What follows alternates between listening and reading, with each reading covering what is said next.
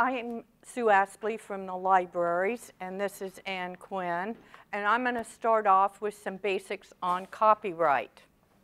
And as we look at social media, whether all the formats here, whether you're dealing with print, YouTube, Flickr, images, video, meaning film, sound recordings, across the board, copyright is going to be basically the same considerations. Don't think because I am dealing with this image necessarily the basic copyright premises change. They don't. There are a few caveats. As always with the law, you make a big general statement and then you start backing off a little bit. However, the basics here because we are dealing with a law that the major, last major revision was in 1976, has not caught up with the technology. So therefore, we are not in the most up-to-date mode, you might say, legally. The one exception is the TEACH Act that was passed with the Digital Millennium Copyright Act in 2000 that deals with videos and uh, some aspects of distance education. Otherwise, we're back to 1976. Now, what does it take for something to be under copyright? There are just three basics.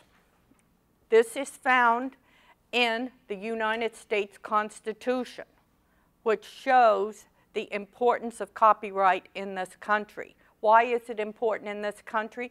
Because our founding fathers came from the United Kingdom and there, there was a form of censorship on creativity. You had to get the king's permission, his stationery office at one time to publish.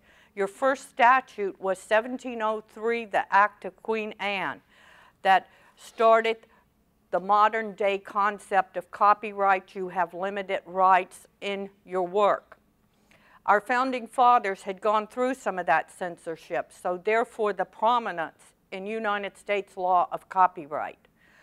Another factor to keep in mind, originally it started out the states could put their spin on it. This changed. In 1909, copyright for the most part became federal. So with this, you're dealing with federal law. What does that mean? That means if you have a copyright at work and it's your own in California, the same rules are going to apply in New York. It's uniform across the board, which gives you a sense of predictiveness and how do I deal with this. If I go to a conference in, say, Chicago, same rules. This provides uniformity and equanimity under the law under this. The basics of copyright are one, you have to own the rights in the work to claim it. Two, it has to be original. Three, it has to be in tangible form. That's it, folks. Three simple requirements. If you have those, then your work right now is under copyright. You say, I didn't rush into the copyright office and register it you don't have to anymore. As soon as those three points are in existence, the work is under copyright. Why would you want to register it? Because if it is a very unique product, and I've had faculty come and ask me because they're concerned about their work being misused or abused, you might have to sue at some point in time, then it needs to be registered to collect damages. Otherwise, it may not. Now, we have a copyright site. This is the copyright advisory site. We have a number of web guides on here for you that provides more information. Under copyright, we have alternatives for you in music and other things. There is a LibGuide on basics. We are going to go into Creative Commons later in this workshop. There is a very detailed guide on fair use and open access and public domain. What are the first questions you should ask yourself when trying to determine? First, look to see is the work really under copyright? If it is in the public domain, anything before 1923 in the United States is in the public domain, so look at your dates. Another factor here, any works before 1976 had to be re-registered. If you've got something that was not re-registered, and there's some out there, not under copyright. If it is a work of the federal government, federal, it is not under copyright. Like you go to the Department of Justice, pull off a report, it is not under copyright. Creative Commons works that we are going to talk about are not under copyright. And these are all in the public domain. Now, as far as states go, it can vary. California is very good and very advanced. Most of the work of the state of California is open and usable. So those are the first things you need to look at. Now, if you didn't get past it at that point, you still under a copyright, then you look for an exception. One exception, the libraries have numerous ones that are in the statute we use. This is the way we loan books. It is an exception in the law. This is the way we put materials on the reserve, exception in the law. This is the way we do interlibrary loan, exception in the law. You too have one of the most important exceptions in the law. This is fair use. This is a doctrine of equity. Become familiar with it because if you run up to this and you see this work is under copyright, the next step is can I bring this in under fair use? Fair use originated in the courts. The reason being is you have a product, you have written a book. I want to use parts of that book in my class. We have a competing interest here, maybe. This happens again and again. The copyright holder and the person that wants to use that work, maybe in education. How do the courts deal with this?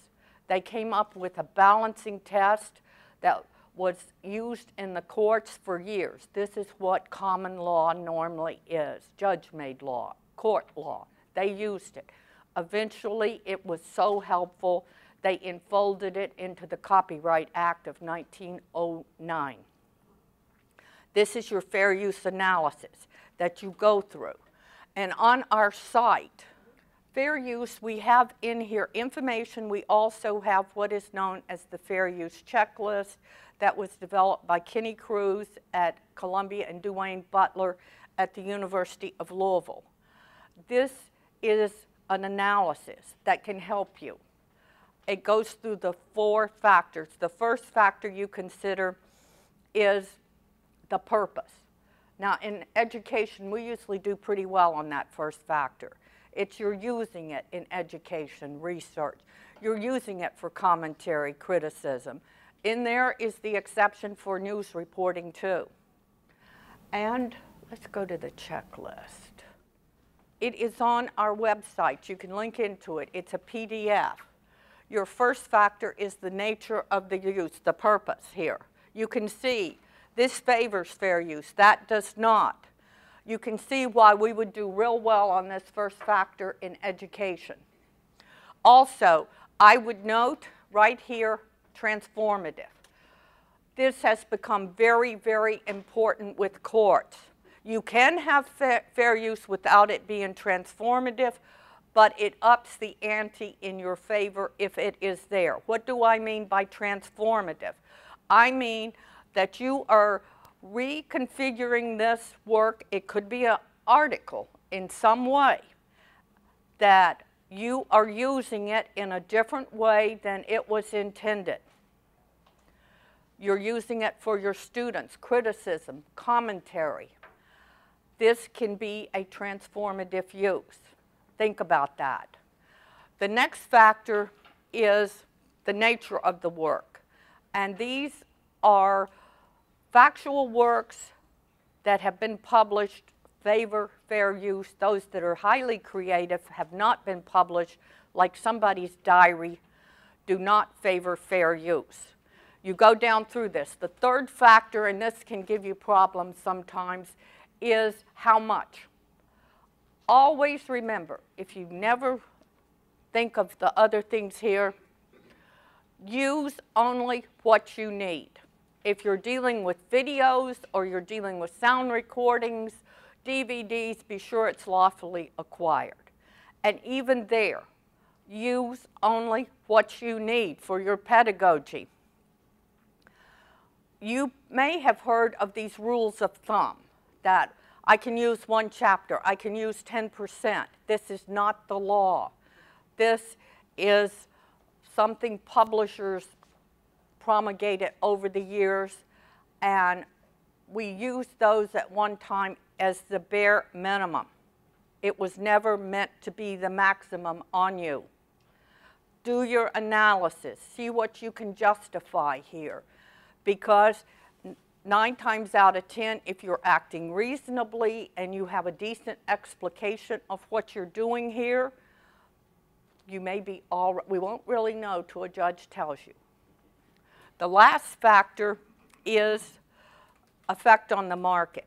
Now, in using textbooks and portions of textbooks, this is where we could run afoul in academia. So keep that in mind, that um, otherwise the market effect doesn't really hit us that hard. It does in the recording industry, the movie industry. There's where you see a very uh, litigious society. That is your fair use checklist. It's online. Go in and use it because the purpose of this is to alert you that maybe you have a problem. That's all it's for. If you've got a problem, then you may want to think, this is too risky. Come talk to me. Or I may need to look at an alternative. Aside from the, fair use exemption, which is one of your best friends in the law, the other thing is we always have the permissions market we can go to. And then lastly, we have Creative Commons that we're going to talk about. Now on your handout, I have put the factors you need to ask yourself as you start out looking at copyright. Do those, go through that and see where you are. And we're always available. I'm just a phone call away, shoot me an email, and we can look at it further. And now I'm going to turn it over to Ann. So the next thing, so we, um, this, this session actually started because our man Steve here from ITT uh, works a lot with Sakai and our vendor, and there was a decision made that we want faculty to, especially for students, did you know we're going to talk about you, Steve? Uh, to put stuff on YouTube. So it occurred to me that, wow, because Sakai is completely secure, right? You have to have your login, students are registered. Then now we're in this very public forum potentially. So I thought it would be good to talk about how to use YouTube and deal a little bit with some of the privacy issues and the copyright issues because um, some of you may be copyright holders, and as soon as you create something on YouTube, essentially you become a copyright holder. Now you've created a tangible work, right? So we got we got Sue involved since she's the expert, and where I met Sue, I used to work for the School of Adult and Professional Studies, and we were converting a program, a degree program in Christian leadership. And in the face-to-face -face environment, they would show movies or parts of movies, just, you know, regular two-hour narrative movies like Patton, or, you know, and they talk, about look at the family dynamics and stuff like that. And so in talking with Sue, we realized we can't just, you know, digitize those and put them online. It's, it's not, not allowable. So we went through this whole process as Sue was talking about of what can you do. And I think as the university uh, develops more online courses and blended courses, we need to be aware of that. Um, and we also have, uh, Tom is in charge of um, online course development. So he deals with a lot of these stuff, uh, these things as well. So please chime in, Tom. So um, I thought it would be good to cover a little bit about YouTube. And so you have four handouts today. So kind of our structure for today is Sue started with some of the, um, the basic copyright info. And then we want to look at some of the how-to and considerations for various media, moving from video, um, and then Creative Commons in general, which we'll define, and art and music and text. So kind of walking through those. So let's start with, um, with YouTube. So I, I have a basic handout for you on how to use YouTube because you're now encouraged to use it. So in the handout, first it talks about uploading an existing movie. So whether you've acquired one or you've made one with your phone or something like that. Um, so we have we walk through how to how to upload the movie once you've created it, and then if you go to the um, this third page, it talks about what file formats are compatible, and then it also talks about privacy settings.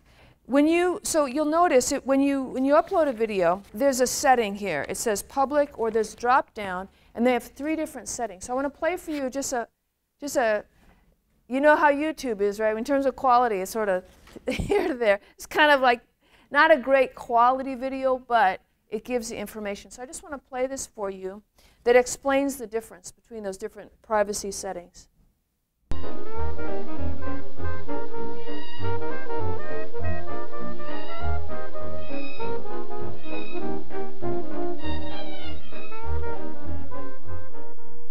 So let's say you're on YouTube and you want to upload a video.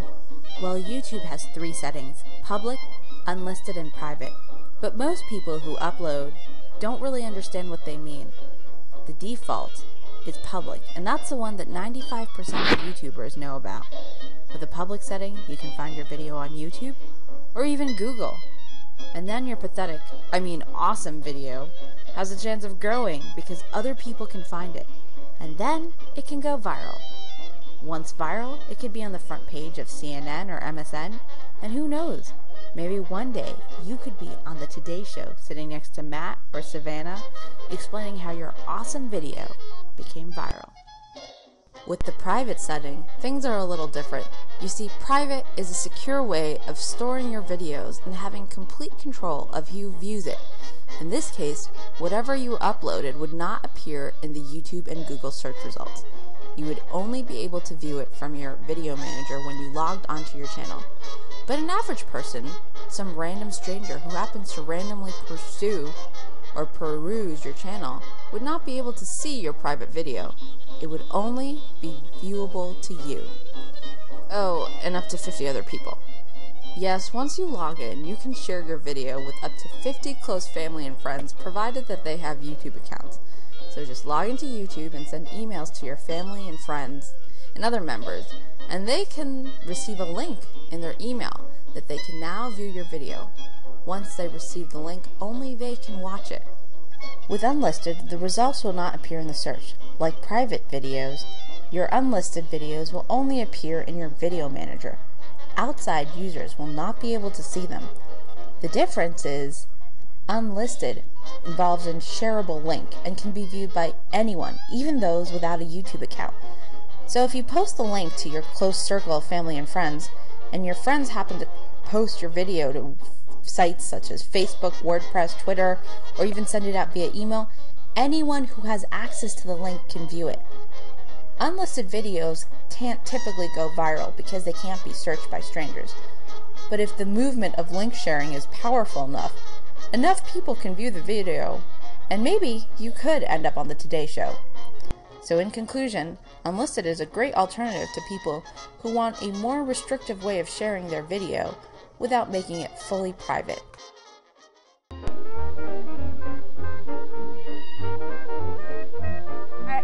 I, have to highlight too, I have to ask you, did you find the music distracting? Did you notice that it was, didn't know? Okay. So, we want to talk about media. Okay, so that's, that's those different listings. So private is actually the most secure. So let's see here. The other thing, just, sorry, I don't have something to show you right now. So the other thing to consider then is if you're asking your students to use YouTube sometimes it's maybe not so much a copyright issue, issue as a privacy issue. Um, you may be asking students to talk about some of their own personal experiences, um, you know, etc. and I want to kind of open it up at this point to see if anyone has had experiences using YouTube or other other video servers and so forth, and kind of what. Yeah. Uh, one thing on privacy is that uh, keep in mind the students own the copyright in their work unless they've signed it away. This comes up sometimes. And the other thing is that privacy, again, like copyright law, has not caught up with the digital environment. That, in fact, at one time, privacy wasn't even a cause of action in the law. The United States was the first in the 1890s to come up with the concept, and it was in the iconic law review article by Justice Brandeis and his law partner Summers that came up with the right to be alone, the right to privacy. It has developed, but your torts for privacy are those that were come up, that were developed by Prosser, who was at Stanford Law School in the 1930s. So therefore, you're limited sometimes uh, for causes of action. And we have a book that's been published, two volumes, by our communications department that deals with social media ethics. And there's a chapter in here on privacy. I'll pass this around. And that's actually also in your resources. Uh, in this document at the bottom is, is the citation. The book is kind of expensive though, so. So just make a copy of it. No. Share it, yeah, put it on the internet. And and um, I know, Mike, that when you when you make videos, you put them in Google Docs. Is that right? Okay. So then that's that's that's private as well. And because sometimes um, if if the person who actually posted the video is not the copyright holder, they can be asked to take it down. And then you could give a link to students that you ever seen that little square face? And it goes this you know this is this video has breaking copyright broken copyright rules is not here anymore. So it's it is good if you use existing links from other you know other people to check them at the beginning of the term or the beginning of you know make sure they're still there. It's, that is that is a best practice. What, what if you're not linking like Maria does? You get into the same issues using YouTube, whether you're using a small portion or the whole YouTube, as you do in passing out copies, copying a chapter of a book. Same issue applies there. So remember, one of our solutions, go through those questions, if it's a student video, you might can get permission. If it's one of your colleagues' videos, you might can get permission. But one thing I didn't say is even though we have all these things, attribution didn't go out the window, folks. If we're using somebody else's work, we still give them credit. We still, in our minds, because we have worked with print material, still do in academia so much, we don't stop and think oh, let me see if I feel comfortable bringing this in under fair use. The thing is, it is your determination. And a lot of times it's how much risk do you want to absorb. You felt like you were trying to do everything reasonable to minimize any copyright infringement here. And that is where fair use analyzing it comes in. And the Georgia State case that um, has been remanded back, but it dealt with over 100 instances of materials that had been put up in the library's electronic reserve. Now, the judge, even at the federal trial level, found 96 of those came under fair use.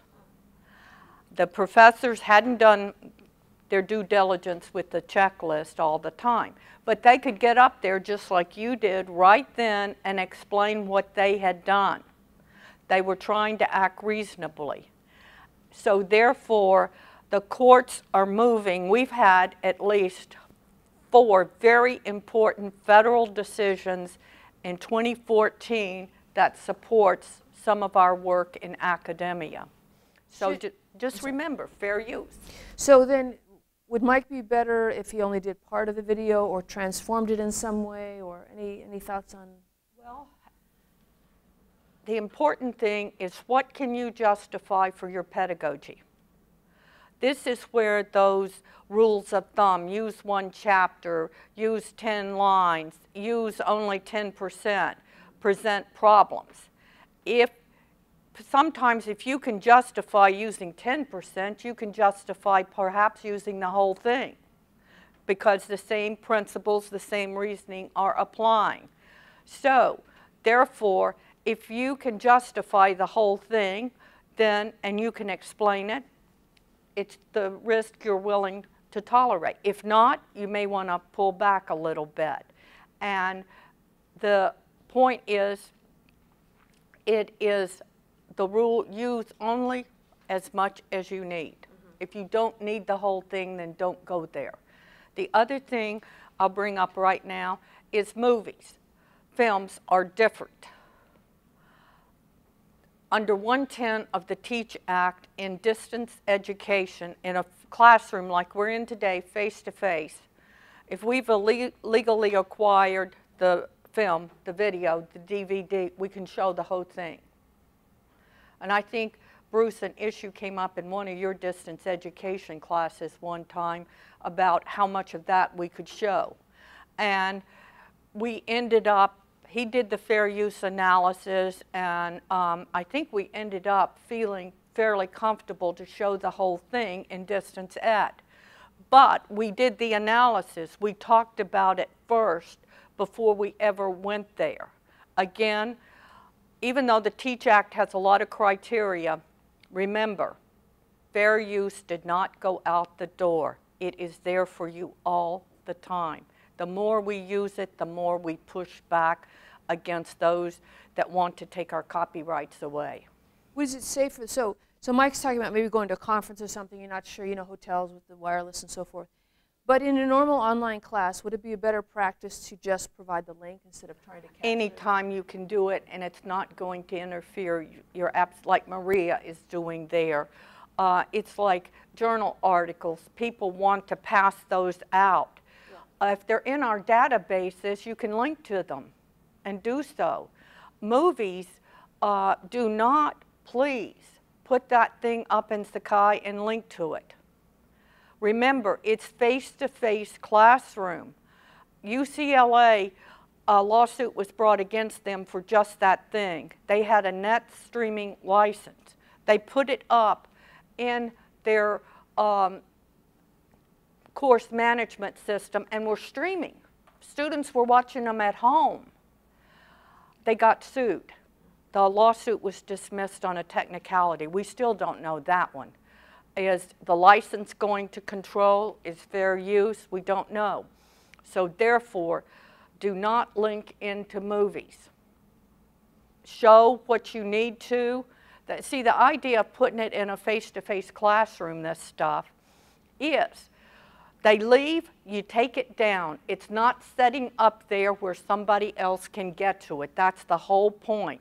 If you put links into uh, like a video, um, if you're doing a link to a YouTube, be sure you feel comfortable with fair use. But videos are limited, legally acquired, normally shown in face-to-face classrooms, unless, like Bruce, you can bring it in. And he took it down. He didn't leave it up there. So remember that. Do you know what the permalink is? It's different than um, when you go in to, let's say, Academic Search Premier, you pull up a full text article, it's up. Up at the top is your URL. That is not the one you use for a permalink. What you use is normally up there sitting in a little box like this, just above the article, is going to be another identifier. If you go over to the side, there'll be something that looks like a, a link from a chain link fence, and it'll say permalink. Click on that, and you can copy that link and put it into your Sakai. Because I know some people have tried doing the URL, and they've come and they say, it's not linking in. You need that permalink. And um, if you've got any questions, email Ann or I, and we will send you um, a screenshot of exactly where it is. But you're okay. That's the way to do it, actually. I had someone, it was in distance education recently, with just the problem I talked about. She was trying to do the right thing. She couldn't get the link. And I realized, oh, you're not using the permalink. That's what we prefer for you all to do. We license these. And in negotiating these license agreements, we have gotten the download rights for you. We have also tried to get other rights in there. So yes, link where you can. And um, also, if there is um, an issue there, you're having a problem, get in touch with us on that. And, and I just to kind of finish my earlier story with the Christian Leadership Program, what we ended up doing, since of course we couldn't get the rights to patent it, you know, we also had some kind of more obscure documentaries about, for example, Christianity and Africa and different things. But we found, we actually asked students to download it, to purchase it from Amazon. So they would have to spend the $3. But it's, it's, it's a, a legal use of, of the, the piece. So that's, that was our solution. Mm -hmm. and, and that's a very good point Anne makes because your options are it's not under copyright, that we can bring it in under fair use, we can go in maybe and buy it, and we have the rights to use it. Lastly, we can go into the permission markets. So there are four options here. Let's, let's move on to Creative Commons. That's this handout to talk about how you can get legal media, all different types of media. Honestly, the website is golden. This, um, the library has a website on Creative Commons. It has lots of tabs, and it's, it's really great. So. Um, it's under our LibGuides. And the thing about Creative Commons is why is it there? Why didn't we have this 50 years ago? Creative Commons, in its simplest form, means I write an article, I put it under a Creative Commons license, Normally these are you may use it freely with attribution. This exists with any medium, any format. Learn to look for this. Right here, you see this little box right here, this gray? If you see this on something, it's a Creative Commons symbol. Like I said, when you start checking to see if I can use something, look for that to see if it's on there. Why do we have it? Is some of your academics that are very conversant on copyright about 15 years ago as the publishers started to push back, wanting to extend the term of copyright more and more. You know, now we're the life of the author plus 70 years. That means in our lifetime, most of what is created is going to stay under a copyright license. We can't use it. This is a pushback. This is also your open source movement. This is part of it. Under open source, you have software, you have education materials, you have open access. And under open access, we are now publishing journals online, peer reviewed, you can publish in, that are open. Meaning I can go in there with this, use it in my work, do attribution. Creative Commons was started by Lawrence Lessig, who is a major pioneer in the open access movement. It's a nonprofit corporation. You can go into their website, pick one of these licenses out. Now, once you pick it, that's it. You mean if, pardon me, Sue, if you're the copyright creator, if you're copyright owner? Exactly. Yes, Thanks, Ann. Thanks. You own the copyright. And um, it applies to any medium. Now, this first one is the most common one. It is by attribution. They've got them non-commercial use, various ones. The reason being, when you pick it, it's free. You don't have to pay to put it on there. You license it. Is I rely on it. So if you've picked out one of these and I come across your material and I use it in my class, you can't take it off of there and come back and try and sue me and play games with me. This is pretty serious stuff. So once you pick one, it stays there for life. But we have within here, can we show them, um, there are Creative Commons sites for YouTube. There are Creative Commons sites for Flickr. There are Creative Commons sites for sound recordings, movies. These are, could be your best friends, meaning you can use them, do the attribution. So check this out. We've put up a number of these. Now, we did not include in here some education materials because there's a whole range of those. We hope at some time maybe we can do another um, workshop on open source education materials and um, MOOCs and all of this huge movement that is coming about. And, but check this out because Google has a place for images. And the other thing I would bring up that we have, and we specifically got it for images, is Artstor. It is on your handout. Luba Zakharoff, one of our librarians, has done a LibGuide on this. She has also linked you in to the tutorials. Artstor is one of our databases. You can go in there and freely use most of that art. Again, tell us where you got it from.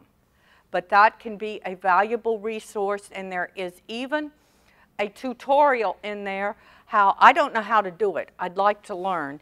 You can bring it up and embed it in your PowerPoint. Just do attribute, and I think they even have a line supplied there for your attribution. It's very easy if you know how to do it. So Creative Commons, learn, check it out, use it. So this, I, I just brought up Artstor. So let's go to our fourth handout. We were handout heavy today, and I love these cartoons, kind of artwork. So, um, yeah, Luba in the library sent us uh, some nice information about Artstor. That's just, that's just one of the resources you have. So this, this document is sorted by, at the very top, Creative Commons. In fact, you could just start with that first link and you're, you're golden. But I thought I'd pull out some of the resources for other media. So we have video. We talked about YouTube. There's also Vimeo. And then under art is Artstor. And I just did a quick little search, and th there's a lot of stuff. There's photographs, there's, there's illustrations, and so forth. Um, Flickr is very um, a, a, grassroots type of uh, situation, right? We're just, you know, people, regular people are creating artwork, taking photographs. And so there's a Creative Commons section of Flickr. Um, and before I even knew about Creative Commons, I went into Flickr, this is many years ago, and I just asked the artist, asked the photographer if I could use their stuff. I've done that also with, with textbook authors. You know, may I use your, your quiz or your pages this to this. So you can also just contact the owner of the copyright. Um, and then under music, I, I, I gotta say, um, I, you know, music, you know, it's been found that music can be distracting. So there are studies done by a guy named Richard Mayer at UC Santa Barbara where people were trying to perform a task when narration was playing and music, and the performance was actually worse with the music. So you need to be uh, cautious about music. It could be good for a little intro, a little outro, uh, but I, I would be cautious about that. When I went into these two websites listed here, I gotta say, I, I didn't see a place to get it for free. It seemed like there was, you could listen to it for free, but I, I they kind of wanted money from it. And let me kind of open it up. And Tom, if you found a totally free music source, I think, have you found a, okay in Creative Commons. Okay. And, and another place on there, it's not in Creative Commons. I originally went in for the students a couple of years ago.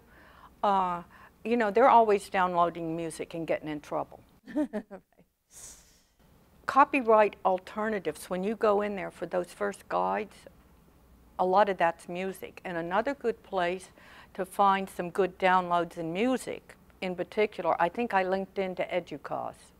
EDUCAUSE can be very good uh, on all of this. Um, because, you know, EDUCAUSE, it started, it, it is the technological aspect of higher education. That's what the organization is focused on. And one thing, if you are looking for music, you can uh, select from different genre and then and you listen to different things. And I'm not saying it's all good, but uh, you, you're able to pull something. There's quite a bit out there. And if you choose rap music, do instrumentals, not the lyrics. Any kind of music. You Probably, you're right. You don't want vocals underneath Yeah, that's probably true. But, I mean, another point, um, yeah, is, uh, ple- if you do use lyrics, please listen to the lyrics.